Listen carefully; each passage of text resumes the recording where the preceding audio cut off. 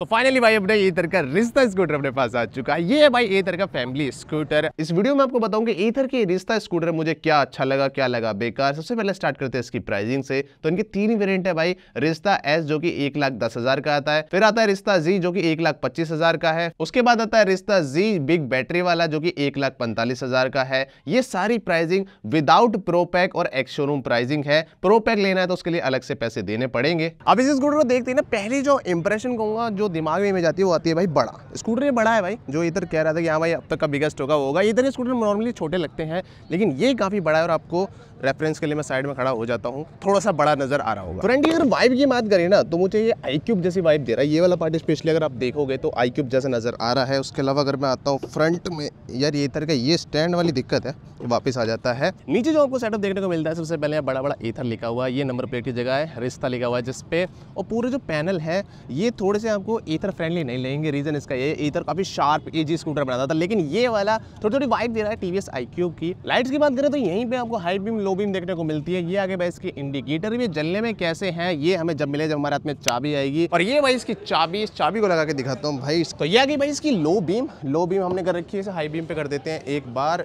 ये हो गई भाई हाई बीम तो बीच वाली लाइट आपको दिख रहा होगा, जल गई है लो बीम पे दोनों जलती हैं। ये साइड लाइट में भी आपको डीआरएल टाइप दे रखी है और ये होते हैं इसके इंडिकेटर एक बार चला के दिखा देते हैं। तो इस तरह से बीप बीप करके इसके इंडिकेटर चलते हैं भाई। और ये जो पूरा लाइट वाला सिस्टम है, इनका पूरी जो असेंबली है, काफ़ी क्लीन और अच्छी सी लग रही है। बिल्ड क्वालिटी की बात करें तो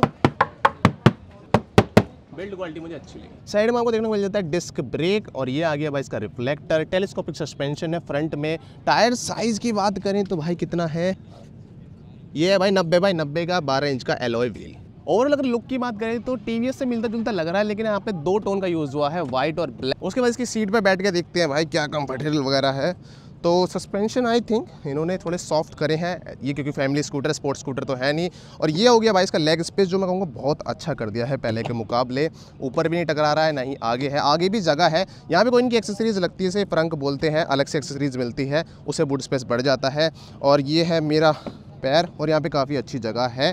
यहाँ पे कुछ चीज़ें लगा रखी हैं। इन्होंने क्या ये टेक्सचर सा दे रखा है? पता नहीं ये घिसेगा यूज़ के साथ या नहीं आई डोंट नो शायद घिस जाएगा ये। तो यहाँ पे आपको देखने को मिल जाता है एक हुक फिर यहाँ पे आगे चाबी लगाने की जगह।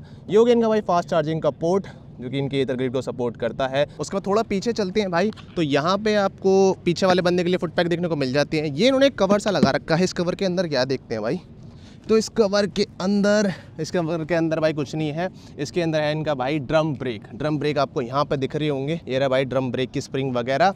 और यहाँ पे कुछ नहीं है। बाकी जो टायर साइज़ है, पीछे वही है इनका। 100 बाई 80 12 इंच का व्हील पीछे की तरफ़ आए। इस वाली यूनिट में आपको बाल सा नज़र आ रहा है। खैर पेंट क्वालिटी में कहूँगा अच्छी है। यहाँ पे आता है भाई, इधर की ब्रांडिंग अगेन यहाँ पे आगे स्टॉप लाइट साइड में इंडिकेटर सारे इनबिल्ट है भाई, पूरा इनबिल्ट एक एलईडी सेटअप लग रहा है मेरे को ये। फिर ये वाला ऐसा सीधे जाके नीचे मिल जाता है, यहाँ पे आगे रिफ्लेक्टर और यहाँ पे आगे नंबर प्लेट नंबर प्लेट की लाइट यहाँ पे लग रही है। टेल ज़्यादा लंबी नहीं है, ऐसा दिख रहा है, एक बार देख लो, पूरा मैंने वाइट दिखा दिया है। इस तरफ़ आ जाए तो तो यहाँ पर इन्होंने बेल्ट के ऊपर पूरा कवर लगा दिया है, जो कि आई थिंक अच्छी चीज़ है, जिससे बेल्ट गंदी नहीं होगी वी टीयर भी कम होगा और जो बेल्ट है वो आगे जाके मोटर से मिल जाती है। मोटर कहीं वहाँ पे लग रही है। मोटर की क्या पावर है अभी बता देता हूँ।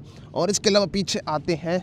तो यहाँ पे लेडीज़ फुट स्टेप कहाँ से लगेगा आई थिंक यहाँ पे कुछ कनेक्शंस होंगे।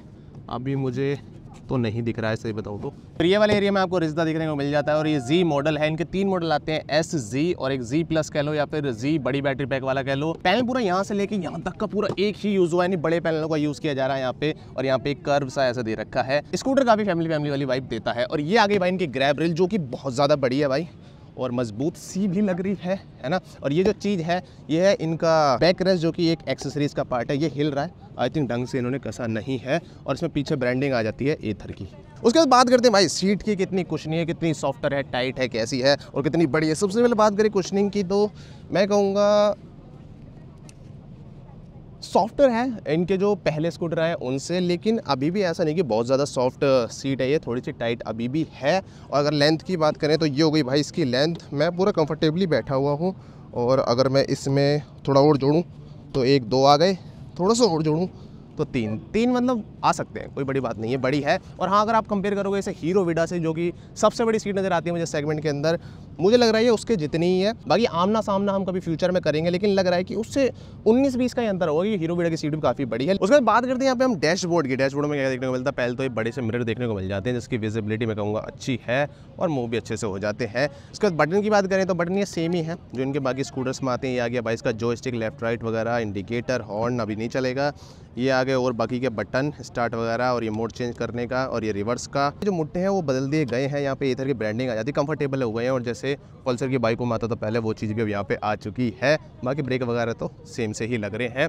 और यहाँ पे मेन चीज़ आती है भाई डिस्प्ले डिस्प्ले में आपको डिफरेंस देखने को मिलेगा इनके अलग अलग मॉडल्स में। डिस्प्ले सभी में सेवन इंच की है, लेकिन जो सबसे बेस्ट मॉडल है, जो कि एस मॉडल है उसके अंदर आपको डॉट डिस्प्ले देखने को मिलेगी एतर फोर एस वाली। जबकि रिश्ता जेड के अंदर आपको सात इंच की नॉन टच टीएफटी डिस्प्ले देखने को मिलती है। डिस्प्ले की क्वालिटी की बात करूँ मुझे लग रहा है कि जो 450X में डिस्प्ले आती है, वो थोड़ी सी ज़्यादा अच्छी होती है। ये मुझे थोड़ी सी बेसिक नज़र आ रही है, उससे कंपेयर करें तो। और अब थोड़े स्पेक्स की बात कर लेते हैं इसके अंदर में क्या क्या देखने को मिलता है। तो देखो, तीन मॉडल है। तीनों में ही जो मोटर है, जो पीछे लगी हुई है सेम टू सेम है भाई। फोर किलोवाट का पीक पावर है नॉमिनल या रेटेड पावर मुझे अभी नहीं पता है। ज़ीरो टू फोर्टी जाने में लेता है, फोर सेकंड जो कि बहुत स्लो कर दिया है कंपनी ने। बाकी टॉप स्पीड है, जो कि 80 किलोमीटर की है। बाईस मीटर का टॉर्क है, और यहाँ पे एक चीज़ जो थोड़ी और कम हो गई है, वो ऐसी गेडेबिलिटी वो है सिर्फ़ 15 डिग्री की। अगर कंपैरिजन के लिए बताऊँ तो जो इनका 450X आता है, उसके अंदर 20 डिग्री ग्रेडेबिलिटी है, यानी चढ़ाई पे मोटर कितने अच्छे तरीके से काम करती है, वही ग्रेडेबिलिटी होती है तो इसकी ग्रेडेबिलिटी थोड़ी सी कम है। फिर बैटरी यहाँ पे आ जाती है भाई, जो कि इनकी सेम बैटरी पैक है, जो ये पहले यूज़ करते आ रहे हैं। दो है यहाँ पे बैटरी पैक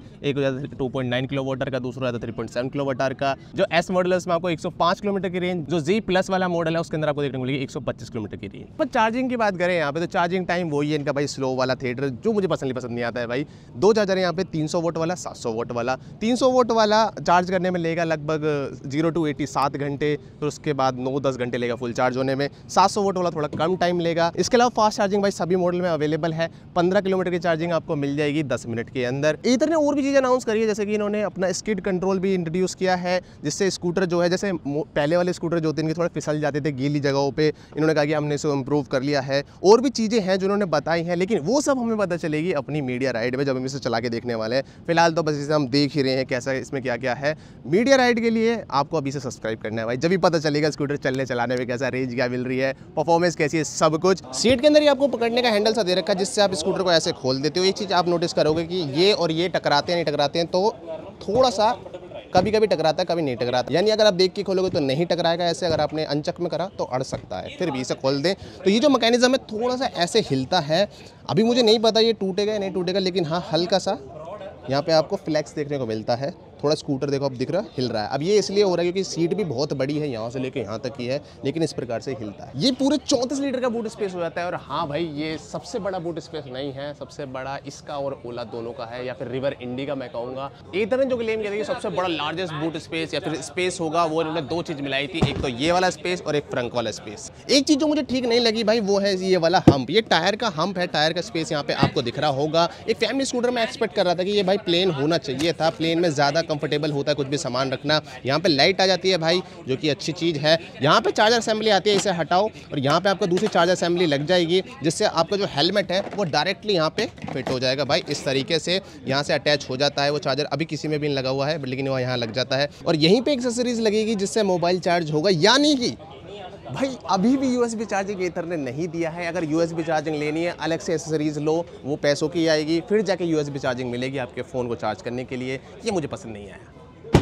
अब बात करते हैं रिश्ता स्कूटर के अंदर, मुझे क्या क्या अच्छा लगा? तो सबसे पहले इसकी प्राइसिंग अच्छी लगी। बेस मॉडल सिर्फ़ एक लाख दस हज़ार से स्टार्ट हो जाता है। बिल्ड क्वालिटी भी अच्छी लगी और फ्रंट में आपको डिस्प्ले देखने को मिल जाता है। अब बेकार क्या लगा? तो भाई, सबसे पहला बेस मॉडल में आपको ना ही एथर का मैजिक टूज देखने को मिलता है, ना ही स्केड कंट्रोल दोनों ही काफ़ी तगड़े फीचर है। इवन अगर आप इनका प्रो पैक भी खरीद लोगे एक्स्ट्रा पैसे देके तो भी आपको ये दो फीचर बेस मॉडल में देखने को नहीं मिलेंगे। दूसरा, आज के जमाने में भी ये वारंटी तीन साल या फिर तीस हज़ार किलोमीटर के दे रहे हैं, जबकि इनका कॉम्बिनेटर ओला आठ साल की वारंटी दे रहा है। आज भी इधर वो स्लो चार्जिंग वाला गेम खेल रहा है भाई, जहाँ पे साढ़े तीन सौ वोट का चार्जर देते हैं। अगर आपको फास्ट चार्जर लेना है तो आपको अलग से पैसे देके उसे लेना पड़ेगा। इवन इनके मिड मॉडल में भी आपको साढ़े तीन सौ वोट का चार्जर देखने को मिलता है, जिससे आपका स्कूटर आठ से दस घंटे में चार्ज होगा। उसके बाद टॉप मॉडल में भी आपको ना परफॉर्मेंस में कोई डिफरेंस देखने को नहीं मिलता। यहाँ पे ओनली दो स्पीड मोड है जिप और स्मार्ट ई को प्लस यहाँ पे जो स्पीड है, वो भी सभी में सिमिलर है। एक लाख पैंतालीस हज़ार का लो या फिर एक लाख दस हज़ार का लो। परफॉर्मेंस में कोई भी डिफरेंस नहीं है।